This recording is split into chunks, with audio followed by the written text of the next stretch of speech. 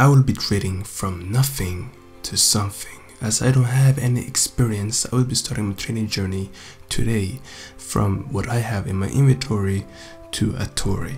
Now you might be wondering, how are you gonna do this? Are there any rules? There are really no rules. I can buy SP resets and I can buy dark roots and I'll be trying to get anyway and I'll be grinding off stream to get um, I said off stream but off video to get uh, their fruits to trade to actually get the Tori and in this journey there will be multiple parts and multiple parts of this video.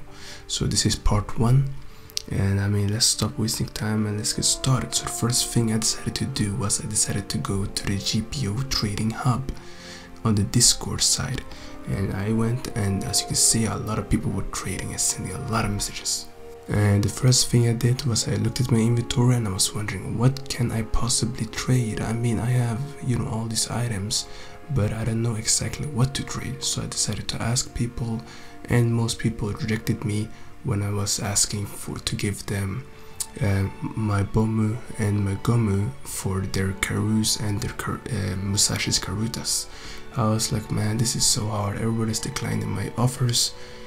And I was just you know sending them sending them sending. Eventually I realized eventually I realized because I'm new to trading and all Whereas that if I buy SP resets, I could theoretically get a couple of items without having an item and these are infinitely, they just depend on how much Robux you have. And since I have a, plenty of Robux, I could use some of that because I really don't use that, my Robux at all anymore. You just sit there. So I decided to, uh, you know, I decided I was thinking of buying one, but then I realized. So I started, started searching on Discord for people that wanted SP resets and then I was typing, I was typing, I was typing. I found nobody, and everybody was declining my offers once again. So I was like, okay, but what is a good fruit to start off with that I really need to start off as a good base? So I was thinking, I'd first decided to go for Pika. You know, I didn't, I did not know what I was thinking. I decided to go for a very, very high valid item, uh, fruit. I mean, and I told them I'll give you my Cupid's wings along with uh, two uh, stats resets, along with uh, hoverboard.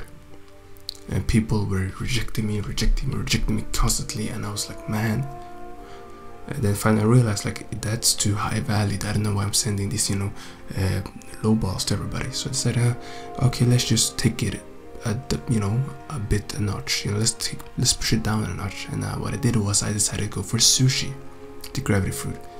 And I found a person and actually this person was pretty nice and we got it through. And as you can see I finally got to trade with them.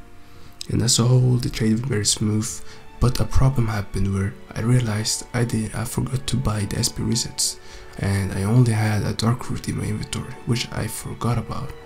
So I decided to put it in with a hoverboard and a, you know the Cupid swings. I don't know if that's actually the name, Cupid clean swings, whatever it's called. Okay, I don't know, don't know the name. And so I sent it the trade, and it seemed it went successful, and I got the Zushi. But I'm in my eyes, I'm wondering, did I do a, a good trade here? Did I mess up? Did I give too much for Zushi? And even so, is that big of a deal? I mean, I could always get back my um, Cupid Queen swings. It just take a couple of dungeons, and even so, it was dropping in value anyway. I'm not a trading expert, by the way, so I don't know.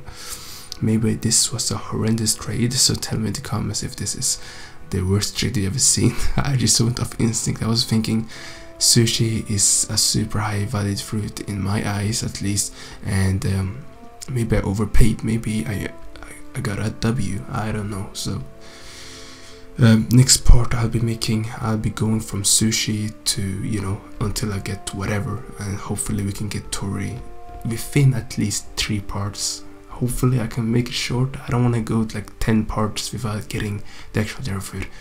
And as for everything, if you are wanting to see part 2 a lot quicker, because this takes time, um, make sure to like the video as well. And also check out my video I made yesterday on the rumbling.